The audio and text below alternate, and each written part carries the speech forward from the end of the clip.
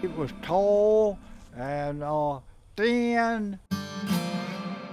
My goats have been damaged. A couple of them got their horns broke off.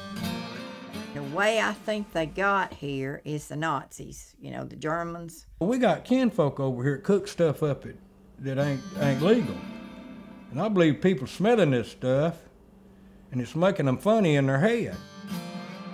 It's purely supposition at this point, whether it be extraterrestrial or the government manipulation of biomechanics. People don't believe. It, they need to believe.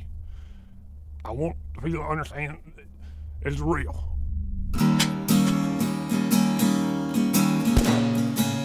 The monster defense team, I don't feel any safer with them than I feel with my shotgun.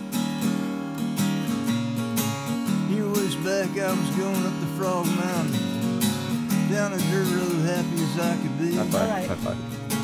And when I came to a curve on the hill, a creature got in a So I was just like, girl, you need to get back inside. The sooner I got out of the woods, more relief I found. Quickest way to depopulate is, is scare everybody into one place and take them out. This is something that, you know, children are going to read about in, you know, seventh grade. People's brain spaces is being tampered with. You know, he says, promise that you'll outlive me.